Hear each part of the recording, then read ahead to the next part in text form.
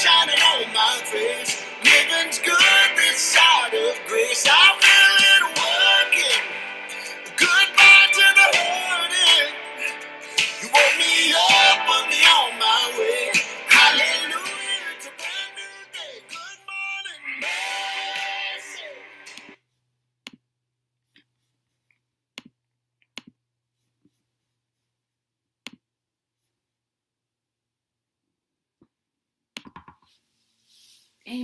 Amen. Bless God, bless God. I'm Pastor Alicia Williams. This is our midweek Bible study lesson.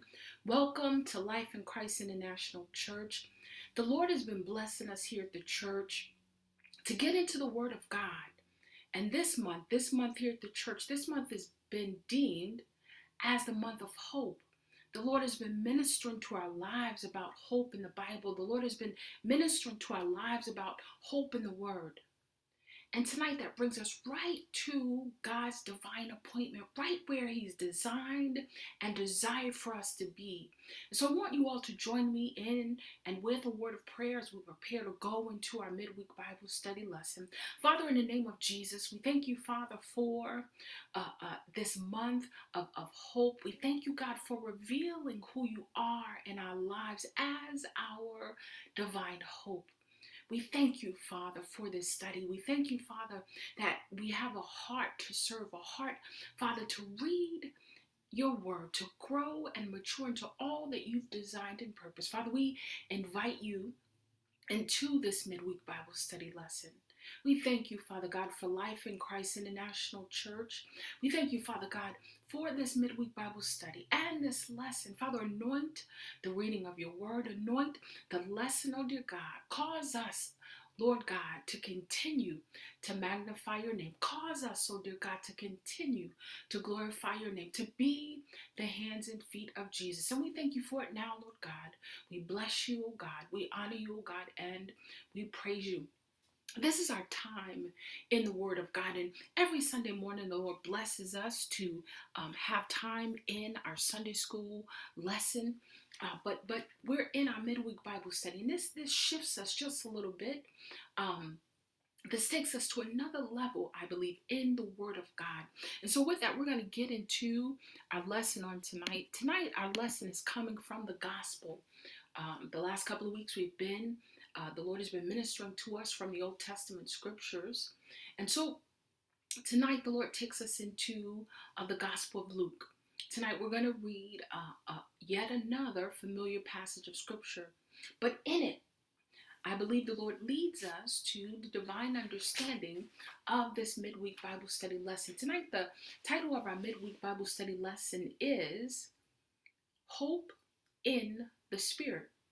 And we tonight will be specifically reading just a few short verses. Tonight we're going to read in the Gospel of Luke, the um, eighth chapter. That's where we're going to be reading. And we're going to read verses 40 through 48. Forgive me, I know you all know I have my notes and I read from my notes. Um, so if you hear the page rat, pages rattling, it's it's my notes. And no, I'm not copying this off of the internet. this is what the Lord has placed on my heart in the place uh, that He has us here at the church, and we thank the Lord God for it. And so, as we tonight continue in our series, and and and as we continue moving into a place with God who ministers to our lives divine hope. Tonight's midweek Bible study lesson specifically leads us in God's Word, gleaning and learning as much as we can about what the Bible teaches us about hope. And tonight is specifically hope in the Spirit. And, and I like how the Lord unfolded uh, uh, the divine insight that He provided tonight for this lesson. This is something that is available to every baptized Christian believer. And, and I thank the Lord for it. I thank Him for, for allowing me to, to read it and glean it out of His Word. And so that's what I'm sharing on tonight. Our Bible study reading, as I already mentioned, takes us into our New Testament scripture. As I already mentioned, once again, it is a very familiar passage of scripture. We are reading tonight in the Gospel of Luke. And, and Jesus, and the scripture is going to tell us in just a minute, is enthronged by, by, by crowds, and, and uh, Jesus is en route to heal uh, uh, the centurion's 12 year old daughter.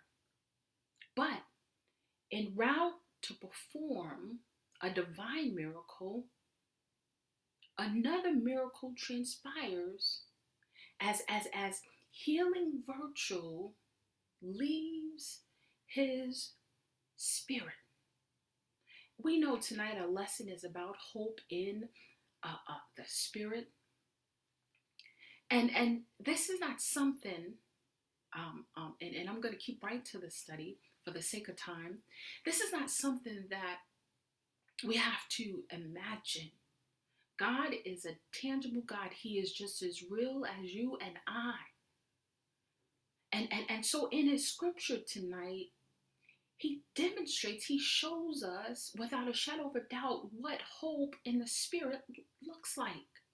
And I thank the Lord for that. And so tonight, the title of uh, uh, our midweek Bible study lesson uh, for uh, uh, this evening is Hope in the Spirit. And so I want us to get right into the reading of God's Word to stay within time. And so, right now, um, I want you, because I always encourage that you read along with me in the Word of God.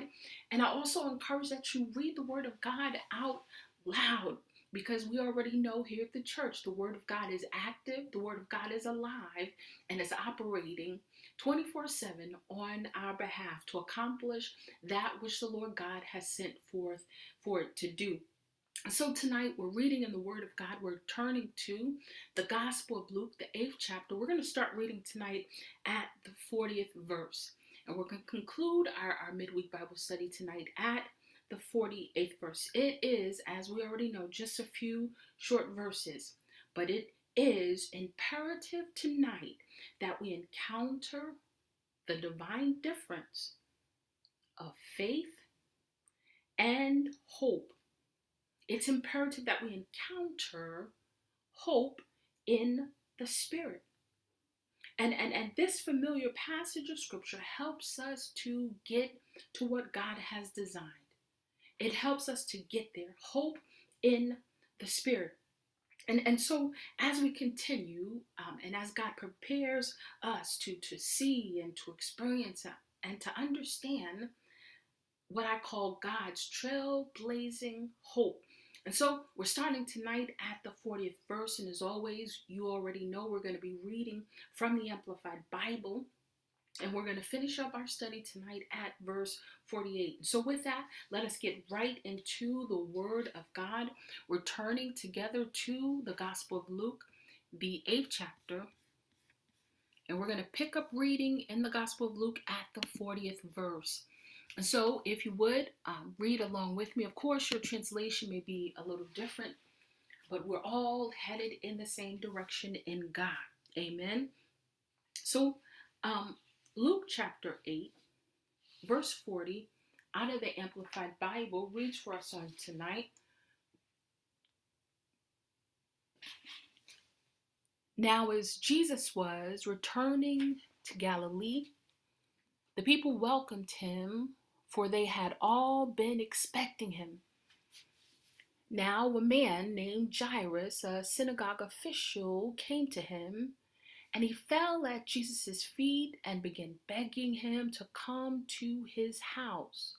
For he had an only daughter, about 12 years old, and she was dying. But as Jesus went, the people were crowding against him, almost crushing him. Verse 43 And a woman who had suffered from a hemorrhage for 12 years and had spent all her money on physicians and could not be healed by anyone. Verse 44 came up behind him and touched the fringe of his outer robe, and immediately her bleeding stopped. Jesus said, Who touched me? While they all were denying it, Peter and those who were with him said, Master, the people are crowding and, and pushing against you. verse 46 But Jesus said, Someone did touch me because I was aware that power to heal had gone out of me. Verse 47 When the woman saw that she had not escaped notice, she came up trembling and fell down before him. She declared in the presence of all the people the reason why she had touched him and how she had been immediately healed.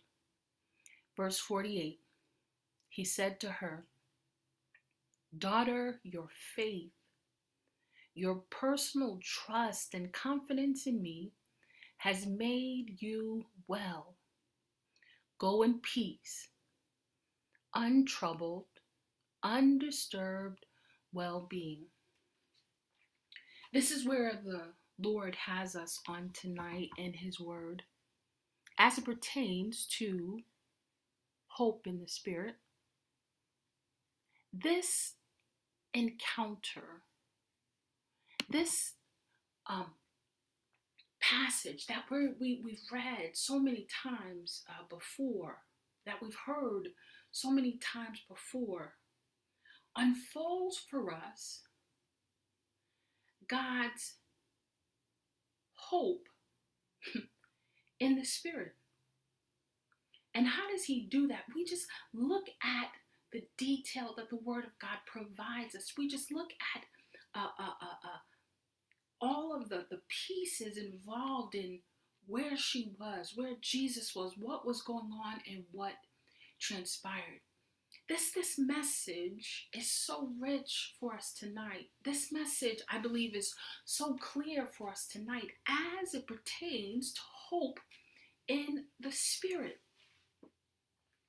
It wasn't a private meeting. She didn't schedule an appointment. She didn't pay a whole bunch of money. She didn't go to a major conference. She wasn't in the synagogue. And, and so it's important that we come to where God is on tonight. And and and so if if I could take take the liberty for just a second to to to give an analogy, if I may. Um, to me, and here's my analogy. Hope is like gasoline for your vehicle. You you you put the gasoline in, in your vehicle to, to drive it. That's hope. And, and, and faith is the actual vehicle itself. That's my analogy. That's my analogy. Now, now, some of us drive Volvos. Some of us drive Mercedes and, and Lamborghinis and the list can go on. Some of us drive Hyundais. But I want you to hear what I'm saying on tonight. I, I believe that with God, it really doesn't matter what you drive. I want to say that again. I, I, I believe with God, it really doesn't matter what you drive. Hmm. as long as you get to your divine destination, as long as you get to the place where God has designed for you. And I'm leave that right there. So tonight, as the Lord graces us in His Word, we see that again, it's a familiar story. As the Lord graces us in His Word, we see uh, uh, uh, that, that, that Christ was enthroned, that, that, that there was a crowd of people around him. The Amplified Bible says that they were crushing him, that, that the crowd was, was, was pushing up against him. And, and, and there's no way of, of telling in that crowd with the natural eye who took virtue from Christ's spirit. Because it was just that many people, it was just that much crushing and pushing and crowding. But the woman with the issue of blood, the woman who who had spent all that she had with doctors and was still not healed, came forward. And, and, and she fell at Jesus' feet, confessing what, um, um, um, and I'm going to take liberty here, what her hope in the Spirit performed for her. Now, now remember my analogy. The gasoline is needed for the vehicle to, to, to get her to her divine healing, to get her to her miraculous healing.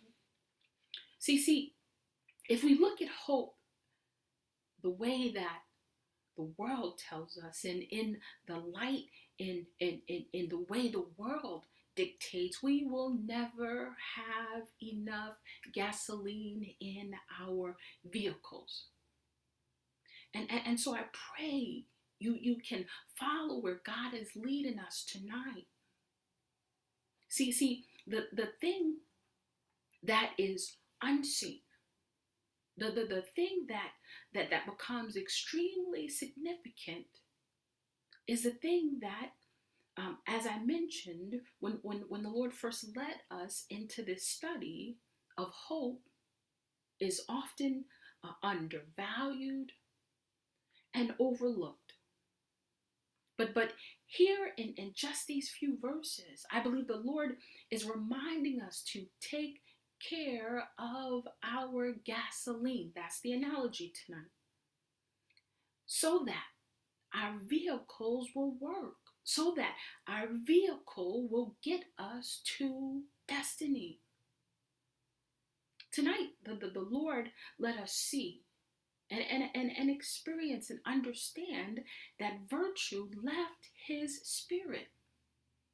Because the woman with the issue of blood had hope, specifically hope in the spirit. See, that the scripture says her, her thought was if she could only touch the hem of his garment.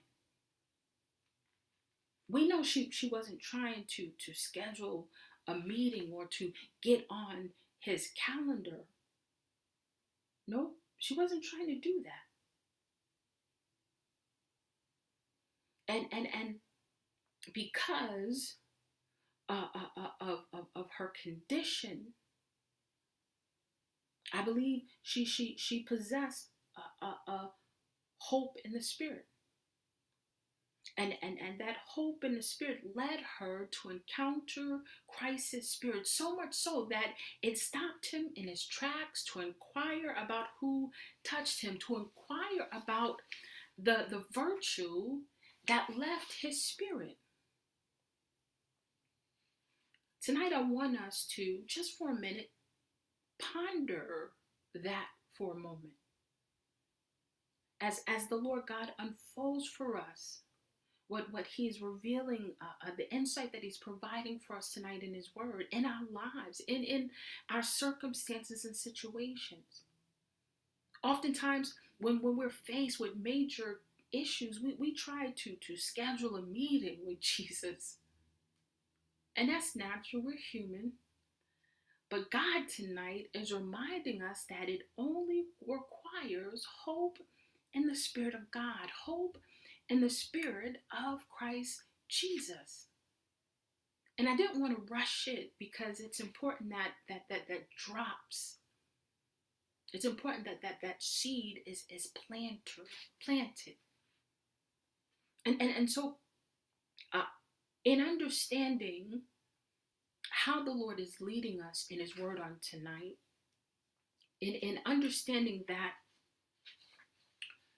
sometimes it is what we suffer, sometimes it's what we go through that that um,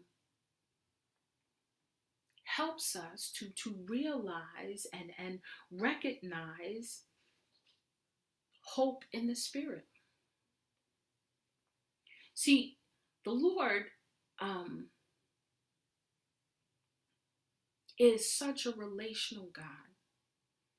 And I and I was and I think I shared this with you already. I was sharing with a young mother. Uh, oftentimes we read about God in the Bible, we come to know God in His Word. But when our life situations hit us, we're looking for uh, uh, the story that the pastor told us to fix our situation. But God is saying, I'm right here. I'm tangible. I am Jehovah Jireh, your provider. I am Jehovah Rapha, your healer. I am Jehovah Nisi.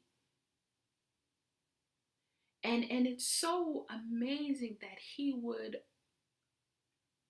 make himself available to our imperfections, to our, our, our humanness, that he would draw nigh unto us at our lowest of the lowest of the low and present himself to us. He's the only God that cares just that much to, to draw just that nigh unto us. And so tonight, before we close, um, I know that the Lord has and continues to be very, very gracious with us.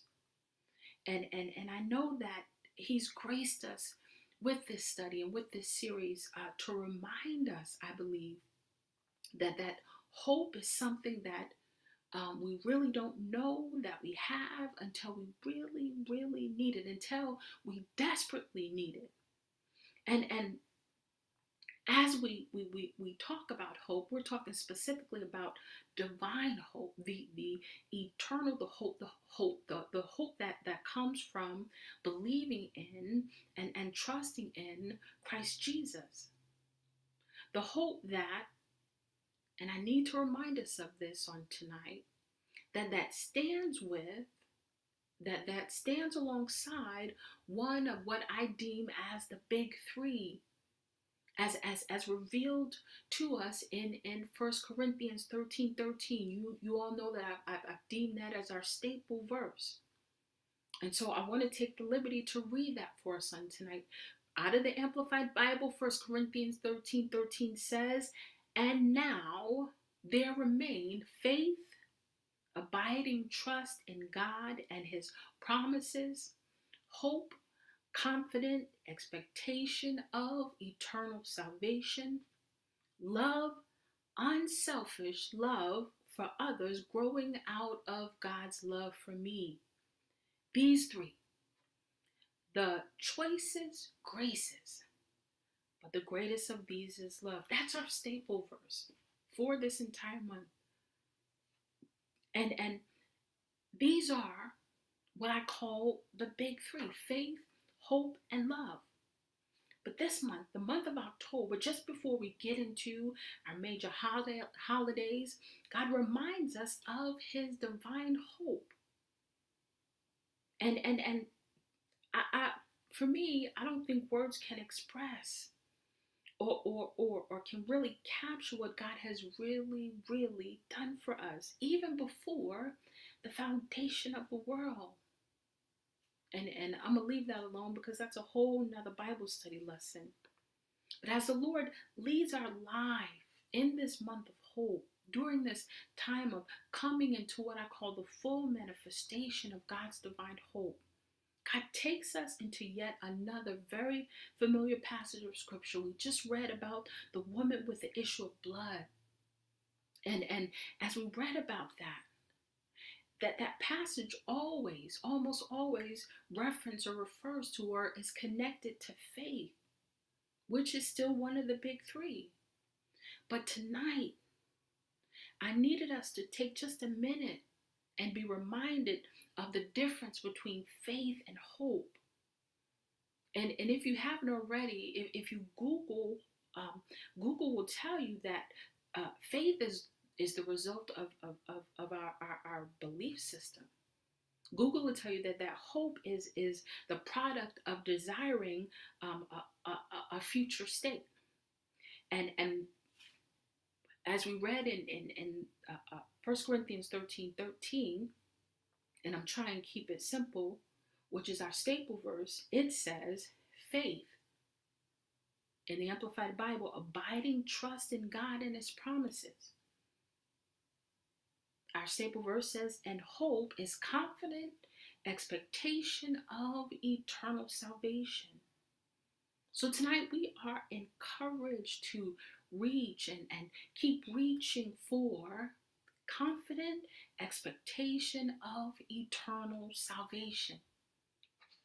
That's that divine hope.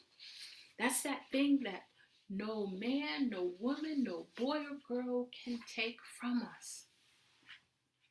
And and I think that um, when it comes to experiencing God, even over the months, the Lord has been ministering uh, um, in our lives divine divine insights, and even tonight in this account of Scripture. Jesus was on his way to perform a miracle for the centurion, his for his 12-year-old daughter. And and the scripture tells us that the crowd was expecting him, the crowd was waiting, and it was so many people. The Amplified Bible says the people were crushing, the people were pushing it, the crowd was so intense. But in the midst of all of this, there was this woman who had been sick for 12 long years. If you would, just go with me for a minute. Normally, if your physical body has been under attack for 12 long years, you don't have, this is my assumption, the strength of a regular person to be in the midst of a, a, a crushing or pushing crowd of people, to, to be enthroned in a crowd of people. But but what is so wonderful for us tonight is the fact that her hope in the spirit led her to, to believe, led her to think, even in the midst of the crowd. I don't I don't need to to shake his hand. I don't need to have FaceTime with him. Her mindset was if I could only just touch the hem of his garment. If we can move to that place in with God where our hope in the Spirit leads us to touch the hem of His garment, wholly, fully, and completely believing, then God's response will definitely almost always be, Who touched me? We, we praise God for, for that on tonight. We honor and bless and thank God for that on tonight. You may not be able to see it right now, but that doesn't mean God and the power of who God is is not working. You may not feel that right now, but that does not mean that God is not God and that He is not operating and functioning and flowing on our behalf in every circumstance, in every situation, even those things we can't even uh, uh, have enough words to mouth, even those prayers that we don't even have the courage or the strength to pray. And we thank the Lord for that. That is just God being God on our behalf. So tonight, the Lord blesses us. He blesses us with hope in the Spirit. It's all right if we don't fully understand it. It still doesn't limit God and who God is in our lives. Amen. And so, with that, we're going to go ahead and close out this midweek Bible study lesson. As always, I do want to take just a few minutes to share our weekly announcements. Um, we are in our end of month uh, time. So we will be um, taking um, our midweek Bible study uh, lesson on tonight. And um, Sunday morning for us here at the church, because we're in our end of month worship time, Sunday morning, we'll have our Sunday school time, and directly after our Sunday school time, we'll go into our end of month worship. And and always, we know that the Lord is ministering to our lives about divine hope this month, and we're excited about what the Lord will share. Um, um, it seems like this month, the the way that the Lord unfolds Himself, the way that the Lord reveals Himself in this month, has been absolutely precious. It, it's like an exclamation mark from Him saying that I'm right here all along however many years you've been on this earth, I am absolutely right here. I want you all to continue to pray for our international pastors. We bless God. I think I already mentioned one of our international pastors will have a baby, and so we're excited about that. We're praying for uh, one of our international pastors that they would be able to purchase a house and have a, a, a, a home church service for them. And we're praying for the outreach that's going on and Continue to pray for our international mission, our very first short term mission to Costa Rica in 2023. Continue to pray for the pastors there, pray for their community, pray uh, for their needs. Um, and um, we're, we're just we're just graced by God. We're just so very thankful that God has been um, uh, tremendously gracious and, and good to us here at Life in Christ International Church. With that, continue to keep our young people in your prayers as well as their parents uh, during this time, uh, during this economy, and you all know I could list it. So, with that, we're going to go ahead and close out tonight. With that, I will see you all Sunday morning for our Sunday school time together at 10 a.m. And then directly after that, we'll go into our end of month worship. God bless you. I pray that this time in the Lord has blessed your soul. I pray that this time in the Lord has enriched you. And we'll see you back here Sunday morning.